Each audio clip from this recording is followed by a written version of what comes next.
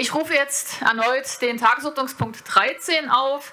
Ähm, Begrünung und Aufwertung der Kreuzstraße. Und wie bereits angekündigt, würden wir wie folgt in der Rednerliste fortfahren. Es beginnt die AfD, gefolgt von Linke, SPD, FDP, dann Grüne und CDU. Und ich darf Herrn Lazinski nach vorn bitten. Sie sind als Redner gemeldet.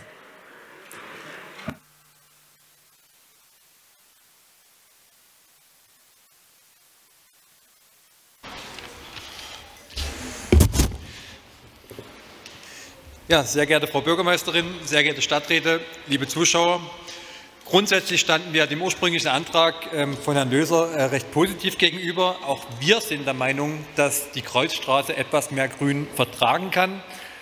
Die Art und Weise, wie letztendlich in der Verwaltung damit umgegangen wurde und was letztendlich äh, von Seiten der Verwaltung bei diesem Thema jetzt hier vorgeschlagen wurde, insbesondere die Variante, ähm, sorgt allerdings dann doch bei uns für Ablehnung. Aus dem einfachen Grund, es scheint hier nicht nur darum zu gehen, die Kreuzstraße zu begrünen, etwas mehr Grün auf die Kreuzstraße zu bringen, sondern es scheint ja auch vor allem darum zu gehen, die ohnehin schon knappe Anzahl an Parkplätzen größtmöglich weiter zu reduzieren. Schon heute stehen den 260 Bewohner Parkausweisen in diesem Gebiet gerade mal 180 Parkplätze entgegen. Jetzt sollen ungefähr noch mal 50 Parkplätze wegfallen. Ähm, das ist eine schlechte Entwicklung, insbesondere im Hinblick darauf, dass auch am Promenadenring ja zukünftig weitere Parkplätze einfallen werden. Und letztendlich ist das Problem, wir diskutieren des Öfteren hier über die Attraktivität der Innenstadt. Wir ähm, bemängeln, dass die Innenstadt immer unattraktiver wird und das Problem geht allerdings Hand in Hand mit dem Thema, dass immer mehr Parkplätze wegfallen. Da brauchen wir uns nicht wundern, dass immer mehr Gäste, die aus dem auswärtigen Raum kommen, die aus Tschechien kommen, die von weiter her kommen, lieber in Heidenau oder im Elbepark einkaufen gehen, wenn sie dort nicht ewig nach einem Parkplatz suchen müssen. Und aus diesem Grund sind wir von der AfD-Fraktion davon überzeugt, dass ähm, die Attraktivitätssteigerung der Innenstadt auch zwar mit Begrünung stattfinden muss, aber auch mit alternativen Parkmöglichkeiten stattfinden muss. Nur dann kann man eine Begrünung in dem Maße sinnvoll voranbringen. Wir werden deshalb diese Vorlage hier ablehnen, ähm, würden allerdings der Begrünung weiterhin positiv gegenüberstehen, wenn endlich mal entsprechende Parkalternativen in der Innenstadt geschaffen werden. Vielen Dank. Soweit die AfD. Ich darf jetzt für die Linke Frau Dr. Geitsch nach vorn bitten.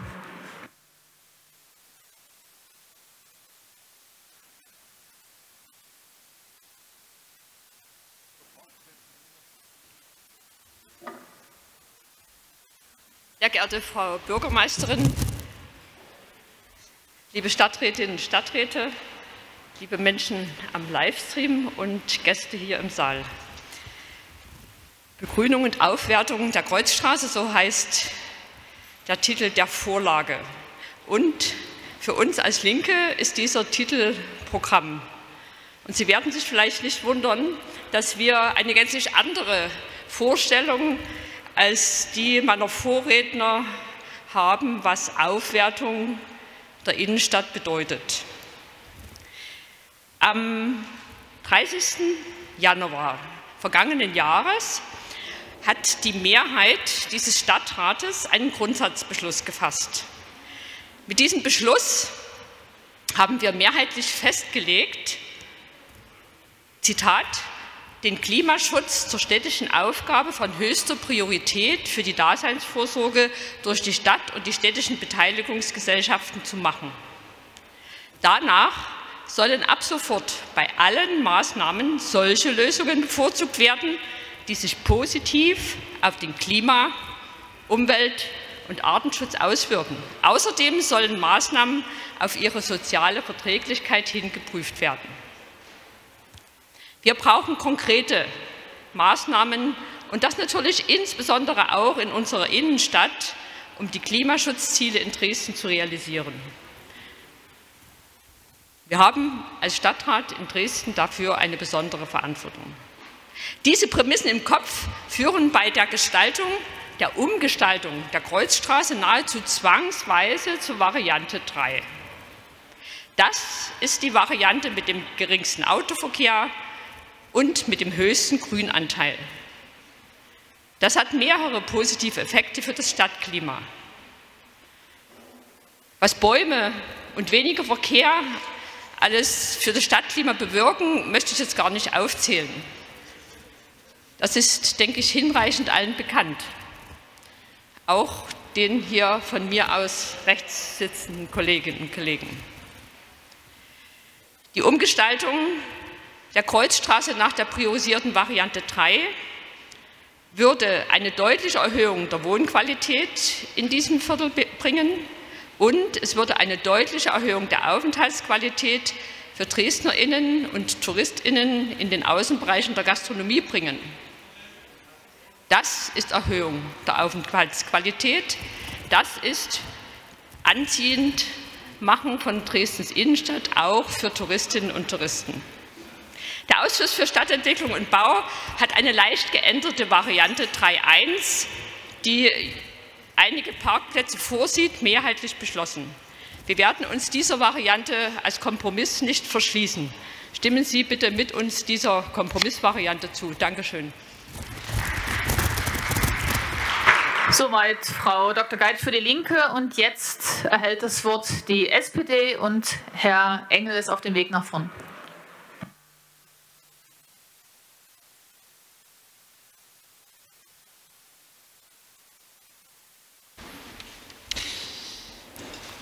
Ja, sehr geehrte ähm, zweite Bürgermeisterin, sehr geehrte Damen und, und Herren, ähm, die Frage, wie wir unsere Innenstadt in Dresden attraktiver machen können und tatsächlich auch nach einem hoffentlich irgendwann anstehenden Ende der Corona-Krise auch wieder mehr Menschen dahin bewegen können.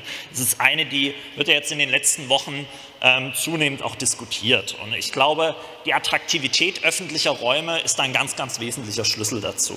Ich glaube, es geht darum, ähm, Räume zu schaffen, die Menschen tatsächlich anziehen, wo Menschen sich gerne aufhalten, wo Menschen nicht einfach nur ähm, ja, Verrichtungen vornehmen, einkaufen gehen, irgendwo mal in ein Restaurant gehen, sondern wo man tatsächlich auch gerne noch länger Zeit verbringt, wo man ja unter Umständen vielleicht auch noch ein paar Euros mehr ausgibt. Ich glaube, es geht um solche Räume. Wir haben vielleicht, wenn wir in den Urlaub fahren, immer solche Räume vor Augen und ich glaube, die Herausforderung besteht darin, solche Räume auch in Dresden zusätzlich zu schaffen. Und ich sehe ein Stück weit die Vorlage der Stadtverwaltung hier zum Thema Kreuzstraße auch als so ein Element, tatsächlich attraktivere öffentliche Räume zu schaffen. Weil wie oft gibt es denn in Dresden Beschwerden darüber, dass unsere zentralen Plätze, zentrale Räume in der Stadt zu steinern sind, dass da einfach kein Leben da ist, dass die Aufenthaltsqualität fehlt. Mir begegnet das extrem oft. Und ich glaube, das ist eine Sache, die sollten wir tatsächlich auch ernst nehmen, damit unsere Innenstadt tatsächlich ähm, weiterhin ihre Anziehungskraft auch hat. Ich will es nicht verhehlen, die ursprüngliche Variante 3 war auch für uns als SPD-Fraktion ähm, der Favorit. Wir mussten zur Kenntnis nehmen, dass diese Variante ähm, offenbar im Stadtrat nicht mehrheitsfähig ist. Und ähm, wir hatten ja entsprechende Voten, zum Beispiel im Umweltausschuss, die zu einem Patt geführt haben. Und ähm, daraufhin ähm, wurde ja auch die Verwaltung beauftragt, nochmal zu gucken, gibt es denn vielleicht mögliche Kompromissvarianten. Ne? Herausgekommen ist eine Variante 3.1, die jetzt hier auch äh, Gegenstand ähm, des federführenden Ausschussvotums ist. Da sind nochmal fünf Parkplätze zusätzlich drin. Ähm, ja, das kann man von unserer Seite aus so machen. Ich halte das auch für ähm, jetzt im Grundsatz auch sinnvoll, da zumindest zum Ergebnis zu kommen, auch wenn es vielleicht nicht die 100 Prozent sind. Ich glaube allerdings, wir müssen ähm, wirklich schauen, dass wir ähm, es jetzt dabei nicht nur belassen. Ich glaube, wir müssen zum einen schauen, dass wir im Rathaus, also in dem Erdgeschoss des Rathauses, dem Flügel, der demnächst noch saniert werden soll, dass wir dort tatsächlich Nutzung auch reinbringen, die auch diese Straßenseite entsprechend beleben. Ich glaube, das ist eine Herausforderung. Und wir dürfen, glaube ich, mit dem Projekt Kreuzstraße nicht aufhören, was die Begrünung unserer Innenstadt anbelangt. Ich glaube, es gibt da noch weitere Potenziale, wenn ich zum Beispiel in den Bereich rund um die Kreuzkirche schaue, wenn ich im Bereich der Seestraße schaue. Auch da sollten wir wirklich drüber nachdenken, haben wir da noch mehr Potenzial, öffentliche Räume noch attraktiver zu machen. Und ich glaube ganz ehrlich, das ist tatsächlich der Schlüssel auch, um unsere Innenstadt peu à peu auch attraktiver zu machen. Ähm, und ich denke, dementsprechend können wir an sich auch diesem Votum jetzt hier so folgen. Und ich hoffe, dass es dafür auch eine breite Mehrheit gibt. Vielen Dank. Das war Herr Engel für die SPD und es ist auf dem Weg nach vorn Herr Zastro für die FDP.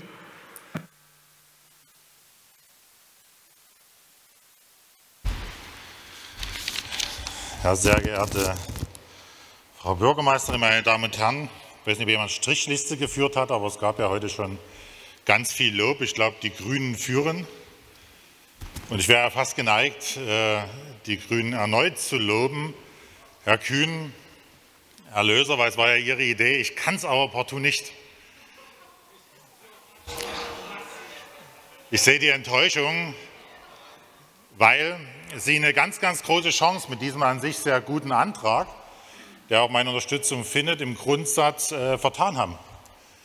Leider deshalb, weil sie nicht über ihren Schatten springen können und weil sie eben im Zweifel nicht in der Lage sind, einfach mal die Dinge neu zu denken. Wir haben darüber im Ausschuss gesprochen und ich will das auch hier tun. Ähm, selbstverständlich ist eine Begrünung der Kreuzstraße ein Gewinn. Natürlich sind Stadträume, die anders genutzt werden als durch Parkplätze, die anders genutzt werden als durch Rheinbeton, besser. Ich bin sofort dabei, wenn wir uns dafür stark machen, diese Stadträume neu zu gestalten und neu zu gewinnen. Und das wäre eine ganz gewaltige Chance gewesen, genau an dieser Stelle. Sie haben es nur versaut, weil wir am Ende genau das bekommen, was wir immer bei diesen Diskussionen bekommen. Wir bekommen nichts Halbes und nichts Ganzes. Anstatt sich auf eine Diskussion, für die ich geworben habe, und zwar mehrfach, einzulassen, darüber nachzudenken, es dort ganz anders zu machen, viel mehr Grün, viel mehr Verweilqualität, andere Verkehrsorganisationen, sprich äh, Einbahnstraße, anderen Räume für die Gastronomie äh, und die Parkplätze aber nicht ersatzlos zu streichen, wie sie es jetzt wieder machen, sondern zu überlegen, wo wir sie ansonsten einordnen können. Da gibt es ja durchaus Ideen im Zusammenhang mit den Bauvorhaben an der Ringstraße. Man könnte auch mal über, die, äh, über den Rathausvorplatz nachdenken oder über den Pirnaschen Platz, dort einfach unter der Erde ausreichend viele Parkplätze für Anwohner und für Besucher herzurichten, verweigern Sie sich genau dieser Diskussion. Und jetzt haben wir das, wir retten ein paar Parkplätze, die müssen auch gerettet werden, ganz klar. Damit schaffen wir aber lange nicht den attraktiven Stadtraum, den wir bräuchten. Ähm, ich halte das für eine vertane Chance und ich hätte mir gewünscht, lieber Stefan Kühn, äh, wenn wir jetzt gerade auch vielleicht mit dem, der Phase, die neu das Amt übernommen haben, einfach mal alles wegwischen und mal wirklich neu denken und sagen, wir machen das, wir fangen das an. Und dann wird aber nie geredet über ein paar Bäume dort, drei mehr dort und drei mehr dort an der Stelle, sondern dass man es mal komplett neu macht. Das ist aber in dem Stadtrat irgendwie nicht möglich, weil sie am Ende sagen, ja, die eine Gruppe setzt halt möglichst ihr durch, ihr durch, aber mal komplex zu denken ist nicht möglich. Das finde ich schade, weil wir wissen, dass wir Qualität gewinnen können dass Plätze heute anders gestaltet werden müssen. Wer so die alten Bilder vom Altenmarkt sieht zu DDR-Zeiten, wo dort ja überall nur Autos drauf standen, das ist keine Traumvorstellung für die Zukunft. Dass man es trotzdem hätte besser machen können bei der Gestaltung des Altmarkts, den wir heute hatten, wissen wir, glaube ich, inzwischen alle. Ähm, es ist auch ein als autofreier Platz kein schöner Platz geworden und er wird es wahrscheinlich auch durch das neue Pflaster nicht werden. Man kann nur hoffen, dass er oft genutzt wird durch Veranstaltungen. Dadurch gewinnt er am Ende seine Attraktivität. Aber meine Damen und Herren, ähm, deswegen sehe ich darin eben leider eine vertane Chance. Und äh, das frustriert mich auch ein bisschen, weil das der Start gewesen wäre, auch für andere Stadträume sie vielleicht genauso anzugehen. Ähm, es geht aber nicht entweder oder, sondern man muss am Ende auch Ersatz finden. Es gibt genug Menschen, die auf Autos angewiesen sind, die auch dort wohnen. Und für die müssen wir einen Ersatz schaffen. Die Diskussion wäre interessant gewesen, weil ich glaube, aus unserer Sicht heraus äh, man, wenn man dort sich auf eine neue Parkmöglichkeit untersuchen würde, sich darauf einlassen würde, man auch an anderen Stellen im nahen Umfeld, wie es Herr Engel angesprochen hat, vielleicht auch andere schöne äh, Effekte erzielen könnte für die Qualität ähm, der Oberflächen. Leider geht es nicht und deswegen schweren Herzens können wir diesem Antrag nicht zustimmen. Dankeschön. Soweit Herr Zastrow für die FDP. Als nächstes haben die Grünen das Wort und Herr Löser ist auf dem Weg nach vorn.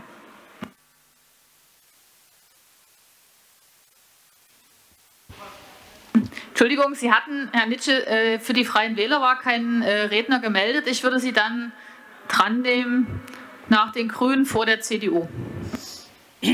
Gut, dann jetzt doch wir, Herr Zastrow. Und jetzt muss ich meine Rede so ein bisschen zur Seite legen, weil Sie uns natürlich direkt auffordern, ins Gespräch zu kommen. Und Sie haben uns ja unterstellt, wir handeln so ein bisschen unterkomplex. Wir haben hier eine Chance vertan. Wir haben einen Schatten. Ich sage mal, wir handeln komplex. Wir haben die Chance genutzt. Und den Schatten wollen wir unter den vielen Bäumen, die wir dort gerade pflanzen, also bald Und jetzt ähm, sagen Sie ja, Sie wären ja noch viel radikaler als die Grünen. Und ich habe mich ja tatsächlich erst mal gefreut, dass wir im Ausschuss bei dem Thema eigentlich beieinander sind. Aber jetzt muss man ja noch mal dazu sagen, was Ihre Radikalität dann wäre. Und dann kommt man nämlich auch auf den Punkt, warum es dafür keine Mehrheit gibt. Und Sie haben ja immer gesagt, alle Parkplätze kommen dort weg, haben Sie gerade gesagt. Und das stimmt ja nicht. Es bleiben, glaube ich, 35 oder 40 erhalten. Und das ist ja genau der Kompromiss, den wir gefunden haben auf das Drängen der CDU, die ja genau darum gebeten hat. Und da hätten Sie locker dabei sein können, denn es ist nicht so, dass dort alle Parkplätze verschwinden. Und Ihre Idee ist ja, Rathausvorplatz, woanders wollen Sie Parkhäuser bauen oder Tiefgaragen. Das ist nämlich das, was Sie in Verbindung bringen. Sie geben es zu gerade, genau. Und da sagen wir aber, das ist eine falsche stadtpolitische Entscheidung. Denn, lieber Herr Zastro, Sie wissen, wie es in einer Altmarkt-Tiefgarage aussieht. Da ist nämlich oft gar nichts drin. Und auch in den anderen Tiefgaragen in der Innenstadt ist oft nicht viel drin. Das heißt, wir brauchen dort keine Parkhäuser und sie tun so, als ob sie noch viel radikaler wären. Sie haben sich eigentlich davor gedrückt, hiermit bei einem coolen Projekt dabei zu sein. Und jetzt will ich das Projekt noch mal ein bisschen erläutern. Denn es ist, könnte man sagen, ein kleines Projekt, ist ja die kleine Kreuzstraße. Aber wie Kollege Engel schon richtig sagte, es ist ja weit bedeutsamer, weil wir an dieser Stelle eigentlich mal zeigen, was wir unter Entwicklung von Stadt, auch unter dem großen Logo Verkehrswende durchaus verstehen. Wir wollen nämlich diese Straßen, die immer gedacht wurden, wie sie jetzt sind, breit mit viel Asphalt und ganz vielen Parkmöglichkeiten umwandeln in stadtgemäße, menschengemäße Räume. Und ich will das ja auch nicht schlecht reden, denn wir haben ja einen guten Kompromiss gefunden. Denn was passiert denn jetzt? Wir haben momentan einen einzigen Baum, der dort steht auf der ganzen Kreuzstraße. Wir haben als Grüne dort mal so einen kleinen Mini-Baum gepflanzt, der ist dann irgendwann geklaut worden. Das sollte symbolisieren, da geht mehr. Und jetzt kommt viel mehr. Wir haben jetzt drei Baumreihen, die dort gepflanzt werden, auch mit Mitteln aus dem Umweltministerium, mit einem Sonderprogramm, die das ermöglichen. Und das ist doch wirklich ein Riesenfortschritt. Da hätten Sie dabei sein können, Herr Zastro. Jetzt stehen Sie ganz schön weit draußen. Und wir machen nicht nur das, wir machen auch diesen Boulevard, der jetzt schon ist, viel attraktiver. Der wird breiter. Für die ganzen Gastronomen machen wir das und die werden sich darüber freuen und trotzdem gibt es noch Parkplätze. Und da hätten Sie dabei sein können bei diesem coolen Projekt, Herr Zastro. Und das war es eigentlich. Vielen Dank. Soweit Herr Löser für die Grünen. Da die Freien Wähler ihren Redner erst nachträglich gemeldet haben, erhält zunächst Herr Nitsche das Wort und dann zum Abschluss der Fraktionsrunde die CDU. Herr Nitsche. Ja, Frau Bürgermeisterin, äh, meine Damen und Herren, ich möchte nur kurz begründen, warum wir diesem Antrag zu diesem Zeitpunkt nicht zustimmen können. Und zwar liegt es nicht daran, dass wir keine Bäume haben wollen. Wir lieben Bäume, wie viele andere hier im Rate auch, aber wir halten es gerade für den falschen Zeitpunkt. Ähm, wir befinden uns in einem Zeitpunkt, wo für viele angesagt ist, ähm, dass man das Geld etwas zusammenhalten sollte, wo man sagt, äh, man fährt nach Brandenburg statt auf die Balearen, nicht nur, weil man es nicht darf, sondern auch, weil man ähm, sich vielleicht nicht leisten kann. Und aus dem Grund, das ist einer der Gründe, sagen wir, wenn schon Umgestaltung, dann dort, dann zu einem späteren Zeitpunkt, zu einem späteren Zeitpunkt, wo es auch bekannt ist, wie denn die Räume im neuen Rathaus, dem Rathaus, was schon längst saniert werden sollte, ähm, im Erdgeschoss zur Kreuzstraße hin genutzt werden, weil dann, wenn man genau weiß, wie diese Räume genutzt werden, kann man auch die Gestaltung des Außenbereichs abstimmen auf die Nutzung des inneren Teils des Rathauses. Dann wäre der Zeitpunkt, wo wir auch zustimmen würden. Vielen Dank. Soweit Herr Nitsche für die Freien Wähler und zum Abschluss der Fraktionsrunde erhält die CDU das Wort und Herr Schmidt ist auf dem Weg nach vorn.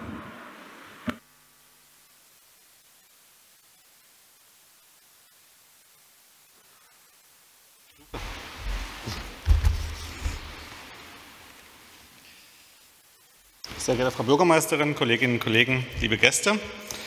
Als letzter ist äh, inhaltlich kaum noch was zu sagen zu dem Thema. Die meisten Sachen sind bereits ausgetauscht.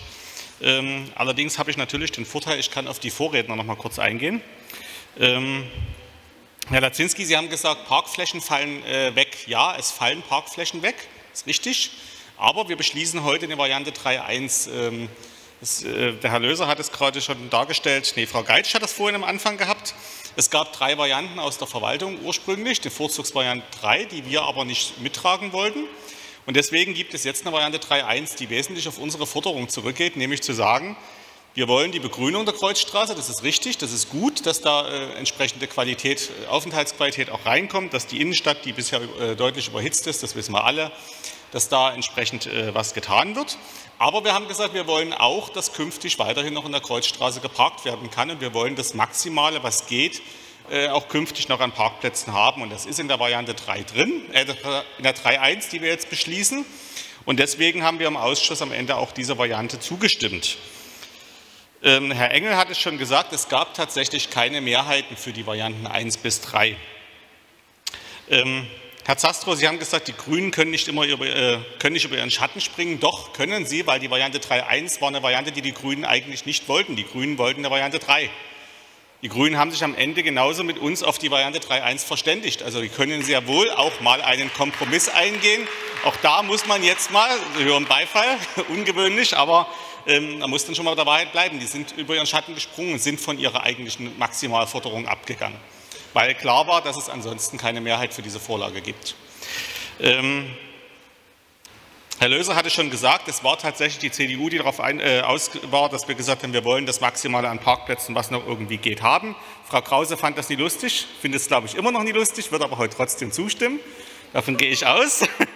ähm, zur ähm, Gestaltung noch eine Sache. Wir haben das im Ausschuss schon angesprochen. Es ist ja momentan vorgesehen, auch auf der Rathausseite eine Baumreihe einzuordnen. Dort haben wir im Ausschuss angeregt, da möglicherweise diese Umsetzung dieser ähm, Bepflanzung vielleicht äh, zu verschieben und damit zu warten, bis das Rathaus saniert ist, weil man ansonsten die Bäume jetzt pflanzt, möglicherweise dann die Baufreiheit nie so ganz gegeben ist. Also die sollte natürlich irgendwann kommen, also kann man machen. Wir beschließen es ja jetzt so, dass dort auf der Seite auch äh, gepflanzt werden soll, aber vielleicht überlegt die Verwaltung tatsächlich in der praktischen Umsetzung diesen Schritt erst zu gehen, wenn die Rathaussanierung abgeschlossen ist, um entsprechend die Baufreiheit herzustellen.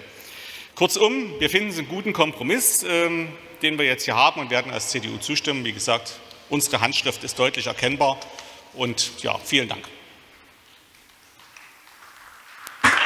Damit ist die Fraktionsrunde abgeschlossen und jetzt gibt es noch eine Wortmeldung von Herrn Engel. Bitte schön.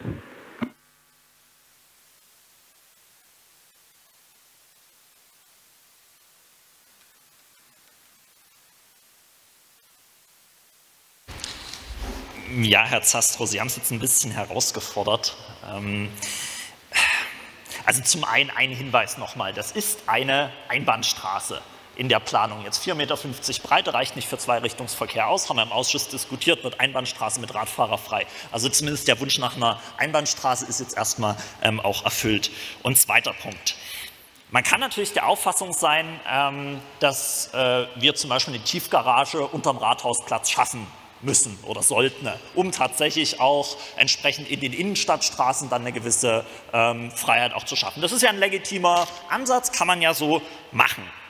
Da muss man sich aber dann, glaube ich, schon die Gegebenheiten auch ähm, ja, vor Auge führen. Und es ist zum Beispiel, es ist ja relativ klar, über welche Beträge wir dann sprechen. Wenn wir eine Tiefgarage im innerstädtischen Raum bauen wollen, sprechen wir über Baukosten von 20.000 bis 30.000 Euro pro Stellplatz. So, und dann gibt es zwei Optionen.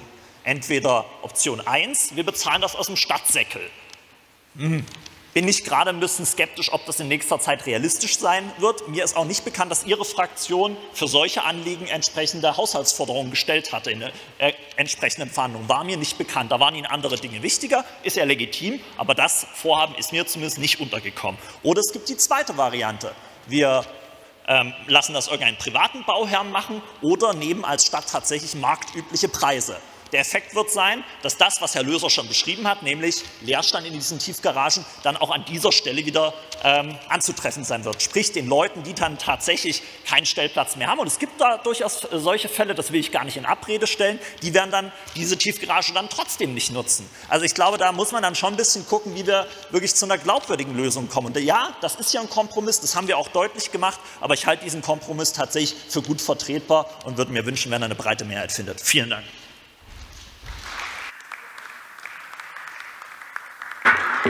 Soweit Herr Engel nochmal und Da keine Änderungsanträge vorliegen und die.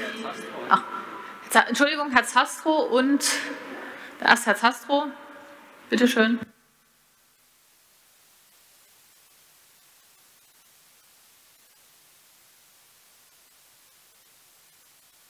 Sie müssen den Blick hier schweifen lassen. Bis in die letzte Ecke. So leicht, lieber Kollege Löser, kann ich Sie hier nicht davon kommen lassen. Ich dachte, äh, dass Sie ein Mann fürs große Ganze sind. Stattdessen haben Sie sich jetzt im Klein-Klein verloren. Äh, wir reden ja manchmal über Architektur in Dresden und da schätze ich Sie sehr, dass Sie ja auch mal für neue Gedanken offen sind leider oft ausgebremst werden, ich kenne das. Aber gerade bei dieser Sache ist ja schon die Frage, ob man nicht sich die Zeit nimmt, lieber Kollege Engel, grundsätzlich über das Thema nachzudenken. Sie haben vorhin bei sich in der Rede genau das gesagt. Sie, Ihnen fallen noch andere Bereiche ein. Jeder andere Bereich wird genau diesen selben Konflikt haben. Und er wird am Ende genau zum gleichen Ergebnis kommen. Ja, dann sagt dann der Herr Schmidt ganz stolz, ja, wir haben uns auf uns zubewegt. So ein Käse. Sehen Sie diesen Stadtraum? Sie sehen ihn. Ich bin mir sicher, dass Sie ihn sehen. Und da sehe ich gar keine Autos, außer für Anlieferung, Behindertenparkplatz, ja. Wenn ich den entwickeln will, dann habe ich Weiße Gasse dort, Gewandhausstraße. Das ist jetzt schon im Fußgängerbereich. Kurz über die Wilsdruffer bin ich an der Frauenkirche. Da kann ich was draus entwickeln. Jetzt stellen wir ja vor die Gaststätten. Schön, dass die mehr Flächen kriegen. Selbstverständlich. Stellen wir wieder eine Reihe Autos davor. Was soll denn das? Das ist doch überhaupt nie konsequent. Ich habe gesehen letztens die Vision zum Thema Rathausturm. Da kommt ja selbst die Stadt auf den Gedanken, vielleicht den Innenhof zu öffnen. Das passt dazu. Das ist eine Vision für Innenstadtentwicklung. So, natürlich können wir nie alle, Auto, äh, alle Parkplätze wegnehmen, Gottes Willen. Ich gleich gar nicht. Aber ich sehe kurz um die Ecke eine Möglichkeit, über die es sich lohnen würde, mal nachzudenken. Übrigens, Sie haben sofort Ihren Promenadenring und zwar in der perfekten Ausformung, wie es die Bürgermeisterin Jenigen gerne möchte, wenn wir das Parkplatzproblem lösen. An vielen Stellen dort überhaupt doch die Fortführung Richtung Schießgasse könnte man lösen, wenn wir mal neu denken. Wie genau, lieber Herr Engel? Das weiß ich noch nicht, weil momentan ist die Stadt gar nicht so weit, über so eine Alternative nachzudenken. Ich würde Sie einladen, das zu machen, weil dann können wir wirklich Stadträume neu gestalten. Und ab und zu mal über eine Vision zu sprechen und mal zu überlegen, wir legen es mal auf den Tisch und denken mal drüber nach, anstatt, sorry, am Ende ist es ein fauler Kompromiss. Es ist nett, keine Frage, es wird schöner aussehen als bisher. Herzlichen Glückwunsch, super. Aber wir haben nicht das gemacht, was wir hätten machen können, wenn wir uns einen Ruck gegeben hätten, mal ein Stück neu nachzudenken, vielleicht auch uns einen Monat Zeit gelassen hätten. Dankeschön. Soweit nochmal. Herr Zastro, meine Damen und Herren, ein herausforderndes Thema. Ähm, ich habe jetzt noch die Wortmeldungen von Herrn Lazinski und Herrn Würz auf meiner Liste.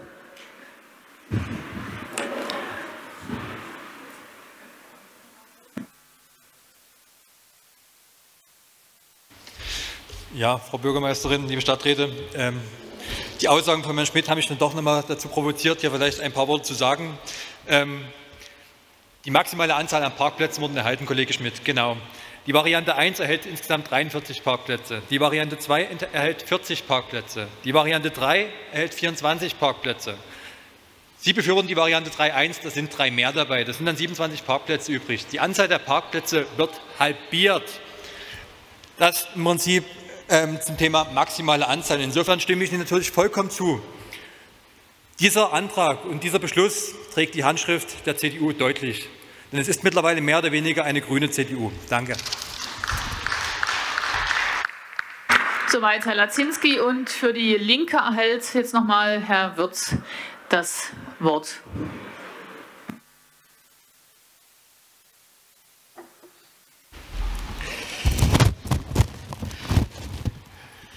Sehr geehrte Frau Bürgermeisterin, äh, liebe Stadträte, liebe Stadträte, äh, Stichwort Kompromiss. Die äh, grün-rot-rote Seite des Stadtrates folgt diesem Kompromiss, weil sonst wieder die Gefahr bestehen würde, dass gar nichts kommt. Und für uns ist halt die Priorität, dass wir sagen, wir pflanzen dort erstmal Bäume in diese steinerne Gegend der Stadt, die das eben seit, seit äh, einer ganzen Zeit ist. War nicht immer so, es gab immer um das Rathaus rum ein paar Bäume. Und da wollen wir wieder hin, weil das einfach im Prinzip die Aufenthaltsqualität verbessert. Aber das Vernünftigste wäre im Prinzip mal darüber nachzudenken, dass diese Umfahrt des Rathauses äh, von der Weißenhausstraße dann bis zur St. Petersburger Straße, dass man die mal aus dem Verkehr zieht. Weil dieser, diese Warteschleife dort, diese, äh, die, so flughafenartig, wenn man keinen Parkplatz findet, fährt man dreimal um das Rathaus, bis man einen findet, ist eigentlich auch ein Ärgernis. Sie ist nur gut für Parksuchverkehr. Und das ist ganz klar auch der Nachteil dieses Kompromisses, dass er die Parkplätze reduziert, ohne sie ganz abzuschaffen. Und das schafft Parksuchverkehr, der dort eben nicht zum Ergebnis führt. Mit der Reduzierung der Anzahl der Parkplätze sinkt die Wahrscheinlichkeit, dort an dieser Stelle nun genau unter den Bäumen einen freien Parkplatz zu finden. Das ist einfach so. Und wenn dort klar wäre, es gibt keine Parkplätze, wäre auch der Verkehr nicht da. Und jetzt nochmal ein Stichwort äh, zu Herrn Zastro, dort ein Parkhaus zu bauen. Ich frage mich, äh, ich nehme Sie mal mit zum kleinen Stadtrundgang. Wir fangen mal am Enso-Gebäude an, dann gehen wir unter den äh, Wiener Platz, dann nähern wir uns dem Ende der Prager Straße mit dem Wörl, mit dem Karstadt. Wir nähern uns der Zentrumgalerie, der Altmarktgalerie, dem Altmarkt und ähm, dem Parkplatz an der Frauenkirche. Ich kenne keine Stadt in Deutschland, die faktisch einen Keller hat, der aus einer Tiefgarage besteht. Und der Herr Zastro möchte noch eine haben. Äh, es gibt inzwischen Diagramme von Anfragen, dass diese teilweise privaten Tiefgaragen überhaupt nicht ausgelastet sind. Äh, wie viele Stellplätze wollen wir eigentlich in dieser Stadt noch ungenutzt anbieten? Wer sich auskennt in dieser Stadt, findet im Stadtzentrum eigentlich bis auf wenige Tage um den Striezelmarkt rum und bestimmte Ereignisse immer einen Parkplatz. Insofern äh, wollen wir es hier mal nicht dramatisieren, dass im Prinzip am, am, Rathaus ein paar Parkplätze verschwinden. Die Kreuzstraße wird mit der Begrünung gewinnen. Wir gehen den Kompromiss mit, weil wie man mit diesen Parkplätzen am Ende umgeht, wird man sehen, ob man dort im Prinzip dann äh, pragmatischerweise Behindertenparkplätze draus macht, um wirklich Bedürftigen, die dort nah an das Rathaus ran müssen, eine Möglichkeit zum Parken geben. Oder ob man über diese Parkplätze nochmal nachdenkt, wenn die Bäume stehen, weil Bäume pflanzen, das dauert lange, das ist äh, sehr intensiv, aber Parkplätze zu Beeten zu machen oder zu Sitzecken, das funktioniert relativ schnell. Insofern äh, sind wir da getrost und äh, halten uns an den Teil des Kompromisses, der uns voranbringt und nicht an den, der uns vielleicht auch hier ein bisschen aufhält. Vielen Dank. Soweit Herr Wirz für die Linke. Und bevor ich die Vorlage zur Abstimmung stelle, möchte die Verwaltung noch einmal das Wort ergreifen, und zwar in Person des Baubürgermeisters, Herr Kühn. Bitte. Auch wenn die äh, Versuchung jetzt naheliegt, mich in die Grundsatzdebatte mit einzumischen, werde ich das jetzt nicht tun, sondern möchte darauf hinweisen, dass wir hier zwei potenzielle Förderprogramme haben, die wir für die Realisierung zumindest teilweise nutzen können, insbesondere das Bundesprogramm Anpassung urbaner Räume an den Klimawandel. Diese Programme, und es gibt ein Landesprogramm, die sind zeitlich begrenzt. Das heißt, äh, wir müssen uns sputen, dort äh, die Mittel zu beantragen und sie dann rechtzeitig abzurechnen. Deshalb wäre ich Ihnen sehr dankbar, wenn Sie heute zu einer Entscheidungsfindung kommen. Und ergänzend würde ich sagen, äh, dass es, denke ich, auch ein wichtiger Impuls ist zur Aufwertung und äh, zur Attraktivierung der Innenstadt, gerade insbesondere nach der Pandemie. Äh, ein Impuls, den sicherlich das Handel und äh, das Gewerbe auch gut brauchen können. Danke. Soweit die Verwaltung und damit kommen wir zur Abstimmung über die Vorlage. Ich lasse die Vorlage in der Beschlussempfehlung des federführenden Ausschusses abstimmen. Wer zustimmen möchte, den bitte ich jetzt ums Handzeichen.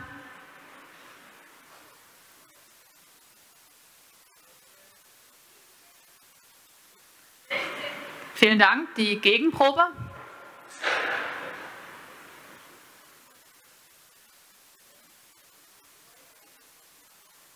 Danke. Enthaltungen?